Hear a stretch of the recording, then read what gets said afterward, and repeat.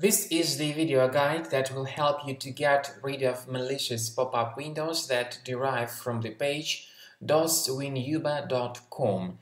doswinuba.com pop-ups attack Google Chrome, Mozilla Firefox and many other popular browsers. And the mission of these alerts is to actually um, redirect your browser to a lot of junk pages. The redirection is done after you mistakenly click on this allow button. The pop-up indicates that you need to click the allow button to subscribe to the push notifications and continue watching. Obviously, these pop-ups may appear on some streaming websites uh, and suddenly it may uh, appear and tell you that you need to click allow button to continue watching some uh, video file. And this is the trick that leads to many problems because the moment when the allow button is clicked, the browser gets hijacked and you will be getting redirected to a lot of suspicious pages and uh, from time to time you may see unwanted pop-ups that will point you to a lot of junk resources in the internet. So be careful. If the allow button was clicked, go to the menu, click on settings, then choose site settings and select notifications. At this point, check the allow area carefully. So when you find this dangerous site, click on this button and remove it from the list.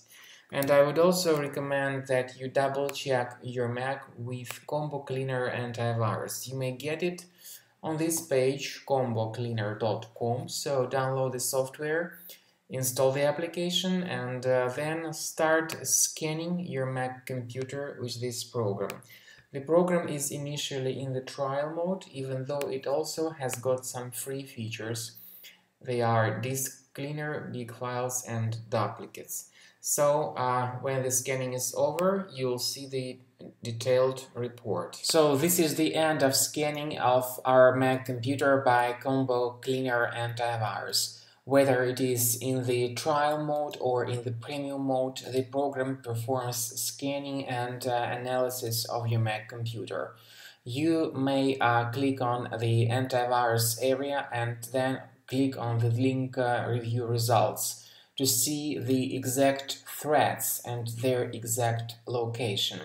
And then you may click on this uh, special icon that says show in Finder this will show you the location of each uh, specific threads in Finder and you may move this thread manually to the trash. What's good about Combo Cleaner, even the trial mode of it, is that it gives you the exact location and helps you remove each thread one at a time. Or, of course, you may get rid of all threads uh, altogether automatically, but with the premium version only.